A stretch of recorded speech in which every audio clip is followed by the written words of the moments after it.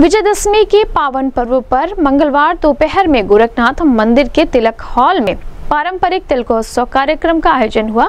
इस अवसर पर साधु संतों, श्रद्धालुओं ने गोरक्षपीठाधीश्वर योगी आदित्यनाथ को तिलक लगाकर प्रणाम किया। गोरक्षपीठाधीश्वर ने भी तिलक लगाकर उन्हें आशीर्वाद दिया। तिलकोत्सव कार्यक्रम में सबसे पहले पीठ से जुड़े योगी, संत, पुजारी, पुरोहित आदि ने मंगल पाठ के बीच योगी आदित्यनाथ को तिलक लगाया। नाथ पंथ की विशिष्ट परंपरा के अनुसार उन्हें दंडवत प्रणाम किया। उसके बाद तिलक लगाने की बारी गृहस्थ श्रद्धालुओं की थी।